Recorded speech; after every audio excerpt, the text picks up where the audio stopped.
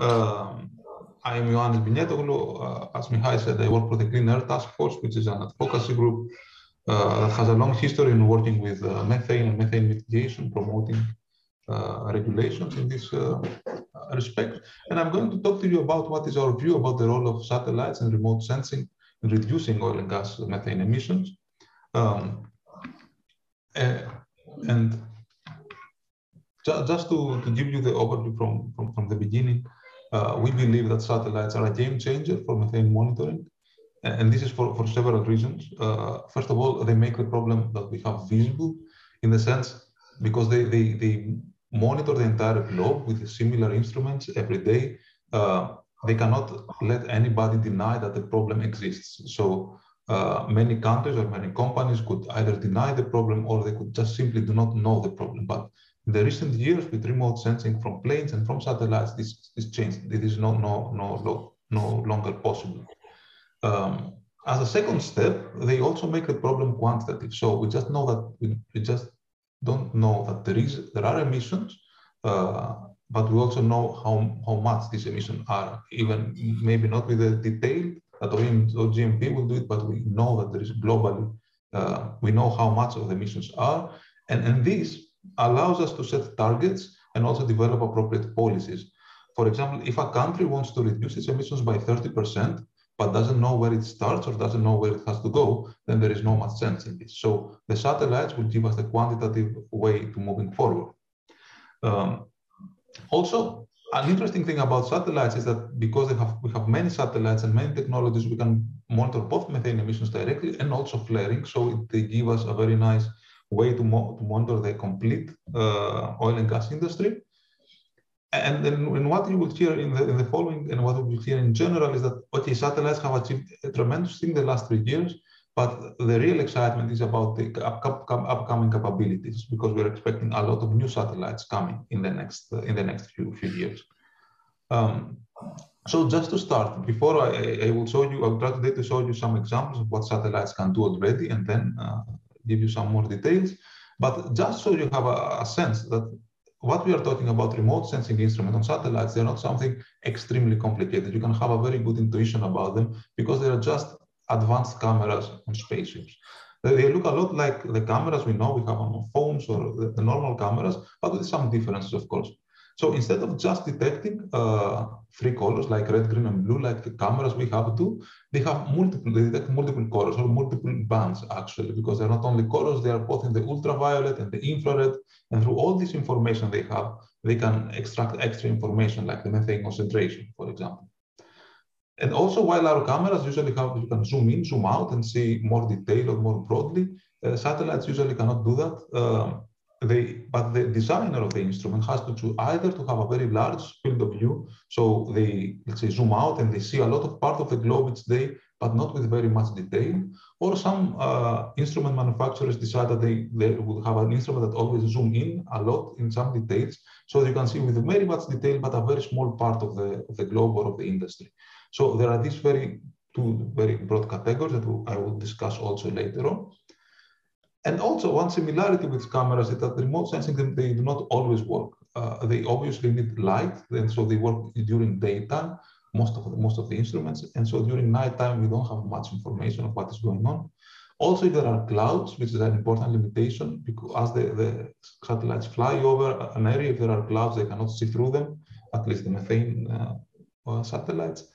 And sometimes they can also be confused by a very complicated background. They work better if the land, which is the background of the methane, it works, uh, it is quite, let's say, uniform.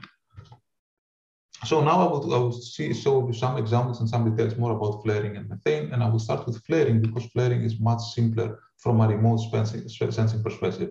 So, and this is because combustion sources like fires are very easy to detect from space during night because everything is dark and the fires very easily uh, distinguished from the background. Uh, and especially flares, because they usually burn at very high temperatures, like more than 1000 degrees, 400 degrees, uh, they can very be easily be distinguished from other processes like forest fires. So we can have a very confident uh, identification and detection of flares throughout the globe. Uh, and another thing that simplifies our discussion and you, uh, as, as users of this data is that virtually all the data we have now come from a single satellite instrument, uh, which is called VIIRS. If you work with FLAIR, you will hear a lot of, of this name. So if we look a little at this satellite a little bit more, uh, so VIIRS, which is a, a, complex acronym, acronym of Visible Infrared image Imaging Radiometric Suite, because it can do, do many things apart from this, is was built from NASA and NOAA. It's a joint uh, instrument. And they're the same instrument, uh, two similar instruments are on two satellites. The one Landsat 2011 and one 2017, and maybe more will come. Um, these rotate around the globe several, several times per day, and they can overpass the same uh, place several times a day, day and detect flares. Uh, they are very sensitive to flares because flares are so obvious. As we said, they can even detect flares which are smaller than one square meter, uh, and this can easily be detected, and all the data they have are for free. Um, such satellites, for example, can be used to, to monitor what, what is the situation, monitor implementation of policies, and can also quantify the progress towards goals. So even with this satellite, even with this data set, we see all the steps that I discussed before of what is the role of satellites. And just as you get a, a visual overview of this tremendous power that this satellite gives us, this is a, a measurement practically from one day, um, showing flare locations throughout, throughout the Earth. Uh, and so what you can see, first of all, you can see the, as I discussed before, you can see the problem very easily. You can see all the major flaring locations in US, Russia, in Northern Europe, in Nigeria, in other places. Uh, so first of all, it can set the discussion and the current state that we cannot deny that flaring is a widespread practice. Second, this, from this data, as we have this every day and for free, uh, we can very easily quantify how flaring is, uh, is, what is the quantitative state of flaring. And as more pro, uh, policies are implemented, we can monitor our progress day to day towards this target. So with this data set, we can exploit really uh, all this information in, in, in actually mitigating uh, the impact of oil and gas industry. Um, so on the second step, we have methane detection, uh, which here the situation is much more complicated. Um, so some some very initial remarks. Uh, first of all, satellite instruments cannot detect methane uh, emissions, but they only detect methane concentration. Uh, actually, they can see how much methane is, uh, is below them, but they cannot see the leak rate or if, if this is uh, if, yeah, if, there's a big emission or a small emission, that just the methane uh, remain there. So it is possible to calculate emissions, and satellites are used for this, but we also need ancillary information like mainly wind data to see how much the methane is dispersing. Um, there are currently uh, several methane sensing instruments on space and in orbit. Uh, some of them are from uh, big uh, space agencies like ESA, which is the European Space Agency, and JAXA, which is the Japanese Space Agency. But there is also a private company, GHGSat, that provides methane measurements uh, for, in a for, pro, for profit basis. And this actually hints to a new business model that we will see more in the next years. And as I said, as I said, there is a lot of excitement about the new capabilities that will come very soon. For example, there is this carbon mapper uh, instrument, and carbon mapper constellation of instruments actually, which comes in a, which is a spin-off from NASA, and they have also a non and a non-profit and a for-profit branch. So we will have a lot of free data from them uh, globally. And also there is this uh, very notable MethaneSAT from the Environmental Defense Fund, a uh, very large non-profit in the US. And so these satellites, which we are expecting in the next, in the next couple of years, will really move us forward. Um, and so when you are thinking about methane observations from space, you should just, there are two very broad categories. On the top, uh, on the top, these, these instruments there uh, are what we call the area mappers. So these are the instruments that I talked before that have zoom out and they can see a lot of the Earth, but not with great uh, detail of what is going on. Um, so, for example, the first two instruments, GOSAT and TROPOMI, are already flying and making a real impact of our knowledge, but there are a lot of, lot of other instruments that will come in the next years. Uh, and these will allow us to quantify emissions uh, at, uh, let's say, continental, regional, or national scale. but there are also a lot of instruments that currently can be in the zoom in category, the point source imagers that can tell, tell you at the facility level uh, if a specific facility is emitting uh, a lot of uh, a lot of methane or not. Um, you can see notably here the GHGSat, which is an instrument just for methane, but a lot of the other instruments um, were built for different purposes, but scientists discovered that they can use them in smart ways to also detect methane. So this gives us a very big arsenal of global data sets to detect methane leaks. Uh, and I will focus just on two of them, Tropomi, which is up here, and GHGSat, just to give you an insight of what these instruments can, can give. And if you are working on methane, you would hear these names quite a lot. So Tropomi is a European satellite, part of the uh, part of the huge Copernicus program, the U European Union. And what we can actually do, it comes daily above the complete Earth and monitors methane, methane, the state of methane globally every day, but with a relative coarse uh, resolution. So we cannot see real facilities, but it, it's pixel in the image. It's let's say more or less five to by three kilometers. So we can see uh, bigger trends and bigger bigger changes. Uh, so so, but we use actually Tropomi is very useful because we can estimate emissions at regional, national, and continental scale, as I said before. And sometimes if an emission is huge, like what we call ultra emitters, then they can even detect some huge plumes, which unfortunately were a couple per day uh, global.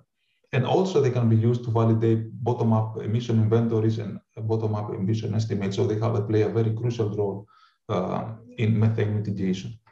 Um, just as an, an, example, on the left, we see a, a, map of the United States based on data from two months. Um, you can see the methane concentration above the US. And if you notice on the bottom of this uh, purple box, which is the it's the border between uh, New, uh, New Mexico and Texas, which is the Permian Valley, one of the most uh, oil and gas producing region in the States, you can see a lot of red, which means a lot of emissions in, in these uh, areas. So we know that we can already know that there is a problem there. And the second step, which is, on, uh, which is also very interesting on the right, um, is we can use this, uh, as I said, these uh, measurements to try to estimate the emissions. Uh, on, on the left side, it's what our inventories told us. Um, so what, they, what was our best knowledge before the satellite came, and you can see not too many emissions. But then through modeling and simulations, we can see what should be, what are the emissions to be compatible with what the satellite measures. And you can see that there is a, there, after this procedure, we understand that our inventory is not appropriate and there are a lot of things to be uh, improved and increased. Um, so again, we see the same procedure first. that They make, satellites will make the problem visible at a global scale, and then they can also be used to quantify and set targets and policies. Uh, and then a very interesting complement to this is GHGSat. As I said, it's a private company based on Canada. They can currently have two or three satellites in orbit, but many more will come. They plan to have 10 satellites within the next years. Uh, so they can see, they can cover a lot of detail around the globe. Um, and, and the difference is that these are very zoomed in in some detail, so they can see at 25 by 25 meter uh, resolution, uh, which means they can actually see facilities uh, in very in, in, big detail and detect plumes, and I'll also be able to pinpoint where the plume is coming from. And this is important because this can, die, uh, this can guide uh, leak detection and repair activity on the ground. So when the satellite sees something, it can really guide where the ground crew should go and try to, to pinpoint the source of the emission uh, and fix it. Um, the sensitivity is much better, so it can detect super emitters, but not the really, the really small leaks, which you cannot see from space. And again, to see just to get an idea of how these two satellites compare, on the left, we have again data from Tropomi, the previous satellite, uh, which you can see some the two images as a comparison between what were the emissions in 2019 and what happened in 2020. And you can see a huge increase in 2020 uh, I'm not sure why this happens. They they said that probably because due to COVID, there was a lot of gas that nobody needed, so it was just released in the atmosphere. Uh, but I don't know if this is true. But just for the comparison, uh, the images on the right are, are just from GHGSat. So if you see this, we zoom in this very small area, which is this big rectangle, and then we can even zoom at, at really uh, the facility level and see where the plume is. One of the plumes, there are many plumes there, but one of the plumes we can really see where it is and where it comes from. So with, from this information, uh, the operator of this asset can really go and fix it and, and repair it.